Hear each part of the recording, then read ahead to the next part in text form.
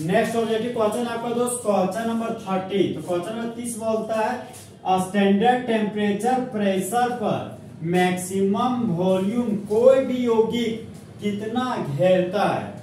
देखिए दोस्त, हम लोग जानते हैं नंबर ऑफ़ मोल का सिंबल होता है स्मॉल एन तो number of mole directly proportional होता है वॉल्यूम का। यहाँ पर देखिए दोस्त, एक हाथ में नंबर ऑफ़ मोल है एक हाथ में वॉल्यूम है। तो जब वॉल्यूम ज़्यादा होगा तो नंबर ऑफ़ मोल ज़्यादा होगा और वॉल्यूम कम होगा तो नंबर ऑफ़ मोल कम होगा। तो अगर नंबर ऑफ़ मोल मेरा ज़्यादा होगा तो वॉल्यूम ज़्यादा होगा। तो इन चारों कंपाउंड में से किसका नंबर ऑफ़ मोल ज़्यादा है, वह नंबर ऑफ़ मोल हमको कैलकुलेट करना पड़ेगा। तो ऑप्शन नंबर पे ए में आते दोस्त। बारह पॉइंट आठ ग्राम सल्फ़र डाइऑक्साइड है। तो हम जानते दोस्त नंबर ऑफ़ मोल बराबर मास बट्टा मोलर मास होता है।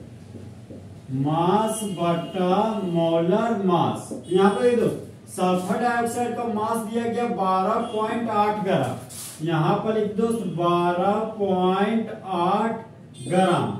अब मोलर मास क्या होता है? तो मोलर मास का सिंबल होता है कैपिटल है तो एक मोल के मास को बोलते हैं मोलर मास। तो मोलर मास सल्फ़र डाइऑक्साइड का निकालना दोस्त तो सल्फ़र डाइऑक्साइड दो कंपोनेंट से मिलकर बना एक सल्फ़र और दूसरा आपका ऑक्सीजन।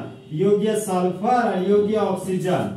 तो सल्फ़र का एटॉमिक नंबर सिक्सटीन होता है और सिक्सटीन मेरा इवेन नंबर है। तो जब एटॉमिक नंबर इवेन नंबर होता है ना तो उसको एक का डबल कर देते हैं। तो 16 का डबल हो गया दोस्त बत्तीस। तो सल्फ़र का एटॉमिक नंबर सिक्सटीन हो गया और सल्फ़र का एटॉमिक मास आपका बत्तीस हो गया।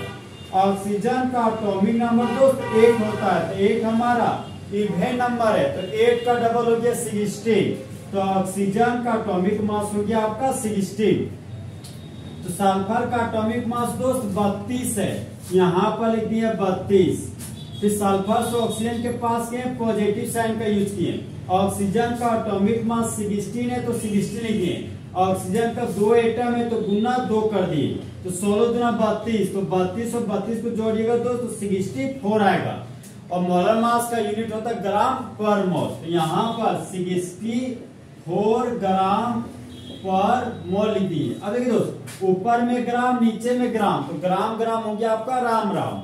यहाँ पर ये ग्राम और ये ग्राम एक दूसरे क्या कर दिया? Cancel out. पर मोल नीचे से ऊपर जाएगा दोस्त ये बन जाएगा आपका मोल। क्या बन जाएगा आपका? मोल।